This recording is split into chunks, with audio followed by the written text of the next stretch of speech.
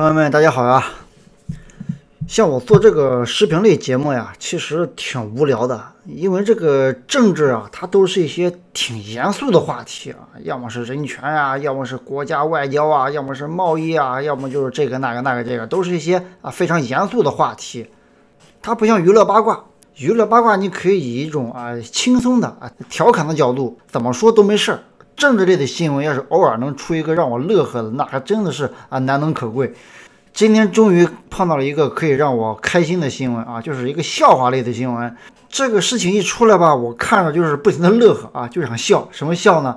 最近不是美国制裁中国吗？老公那些官员对于那些破坏香港自由的，还有针对于新疆维吾尔那些作恶的官员呀，美国不是制裁这些人吗？啊，中国他也来了一个制裁啊，他制裁四名美国人。我一看到这个新闻我就乐呵了，有意思哎，这是一个对等反制啊。别看你能治我，我也能治你。然后我一看我就乐了，你怎么治人家呀？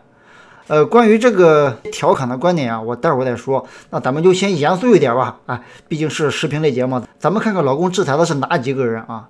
中方宣布从即日起对美国联邦参议员泰德·克鲁兹、马可·卢比奥、还有山姆·布朗巴克，还有美国众议员克里斯·史密斯啊，这四个。以及美国国会行政部门中国委员会实施相应制裁，这是四个。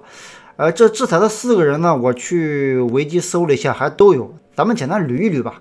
这个泰德·克鲁兹，我看看也没什么呀。啊，怎么就不怎么就制裁了？什么有什么黑料啊？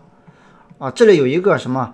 二零一七年在德州休斯顿啊会见过境的中华民国总统蔡英文，可能因为这个事儿啊，见蔡英文都不能见了。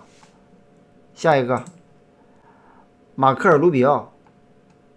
马克尔·卢比奥呢？他是现任美国参议员，美国国会及行政部门中国问题委员会啊。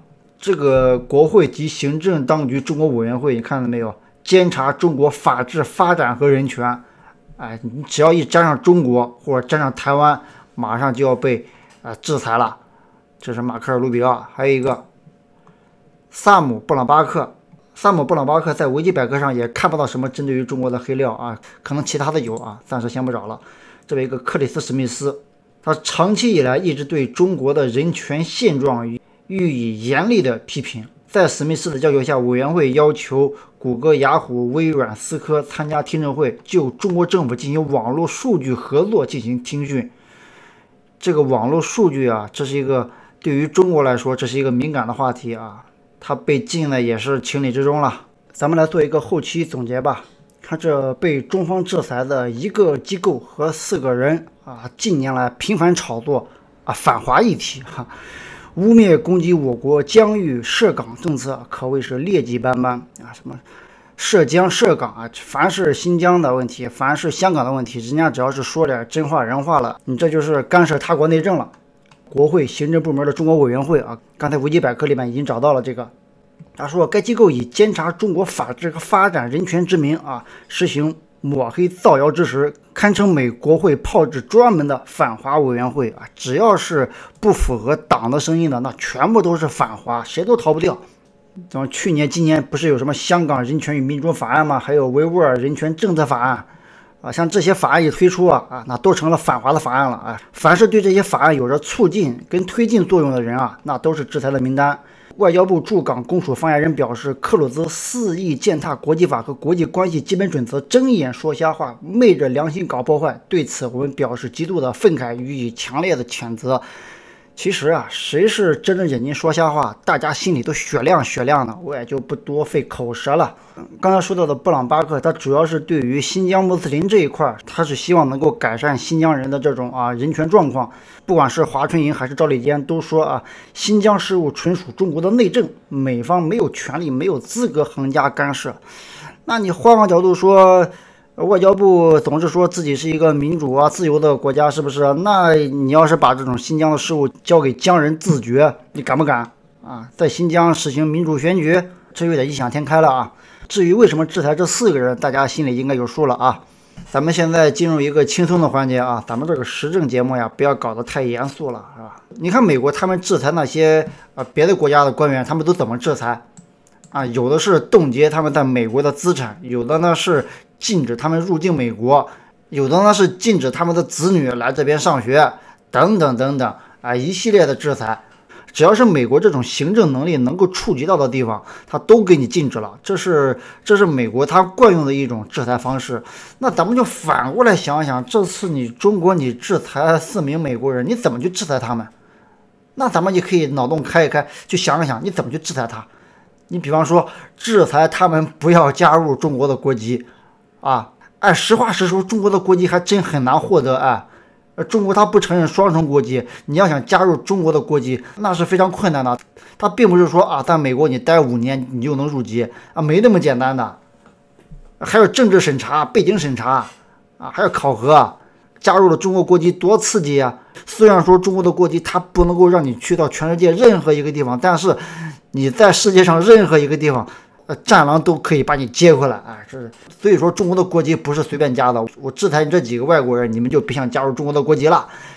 你不要以为你们美国有美国梦，我们中国也有中国梦啊。我们这个中国梦你是别想做了啊。你还可以制裁什么呀？不要让他们使用人民币啊，因为在世界上其他地方人民币用的很少啊，所以说在中国才能用人民币。那也就是说，我就禁止你进入中国了。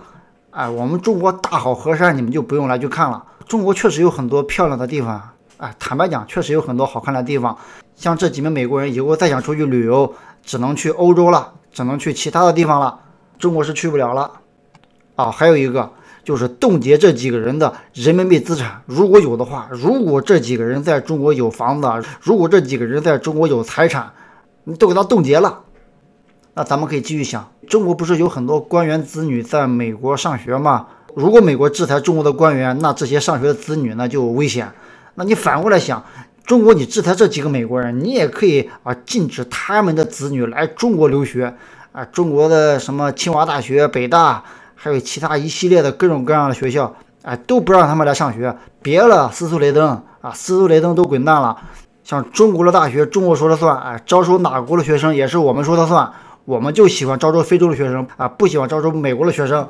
特别是被中国制裁的那些美国官员啊，他们的子女想都别想，那这几个人的子女就只能够去上其他的学校了，什么斯坦福了、常青藤了、早稻田了、牛津了，只能去上这些学校了。清华、北大那是无缘相见了呀！你想想多亏啊！中国政府对待留学生是一个什么心态呀？那是宁欲友邦，不与家奴啊！那些外国留学生在中国那真的是吃香的喝辣的，每个月补贴一万人民币、八千人民币的。有补贴，还住在有空调的房子里面，还给安排学伴，解决生理上啊不解决生活上的需要。现在这只能够留给非洲的那些那些兄弟了。要是觉得以上制裁还不够，还可以用哪些制裁措施呢？不要让他们去用华为手机，以后在对外出口手机的时候，都要跟经销商说好，这几个人是黑名单，不能够卖给他们华为手机啊。我觉得这制裁还不够彻底，还能怎么制裁呢？哦，对，可以禁止他们去淘宝购物，因为淘宝的东西很便宜呀。啊，对，还有比淘宝更便宜的拼多多，啊，都不允许，不允许他们在淘宝上购物，不允许他们在拼多多上面购物，就让他们去啊亚马逊、去易趣去买那些贵的东西，便宜货就不让他们买了。这随手这一想，这是一二三四五六七八七八个制裁了，还要怎么制裁？觉得这制裁还不够。大家觉得还要怎么去制裁才过瘾啊？大家可以把自己的想法都写在留言区，是吧？美帝国主义亡我之心不死。那些对着中国人权状况说三道四的人，一定要制裁他们。就是打自己的老婆孩子，别人不能管，谁要是管了，我就要制裁你啊！我打老婆孩子是我自己的事儿啊，你不能管啊，这是我们家的事儿啊，你要管我就制裁你啊！我不允许你来我家吃饭，我还不允许你跟我家人说话啊！怎么怎么怎么样啊？好了好了，不扯了，我越扯越感觉不着边际了啊！就是这么一个笑话啊，就是太扯了！制裁人美国的官员，人美国人稀罕啊，随便你制裁啊。就是我一看就感觉很乐呵，因为本来生活很无趣、很无聊，特别是做这种视频类的节目也很无趣、也很无聊啊。难得出这么一个笑话，哎，外交部啊，华春莹啊，这个消息一放出来，真的是。我还挺爱看外交部的节目的啊！每当那些政治类的新闻呀看着比较疲劳的时候，你打开外交部的网站，或者说有人在推特上，还是有人在什么其他的地方发了一些啊外交部的一些视频短片，马上这个疲劳感就一扫而光，马上就觉得，哎，生活还是有点乐趣的。你只要你关注这些外交部，你只要关注这些中国官方啊，他们说了一些话，像胡雕盘啊、胡锡进啊啊说这些话，还有那些反制的，像司马南呐、孔庆东啊啊这些人说的话，哭笑不得。好了好了好了，不说了。今天呢，也就是扯淡闲扯扯那么一会儿啊。喜欢我的朋友呢，可以关注我的频道三连，订阅、转发、关注。有的朋友还想给我打赏啊，你要是想给我打赏的话，你就加入会员吧。那咱们就聊到这里，咱们下期再见。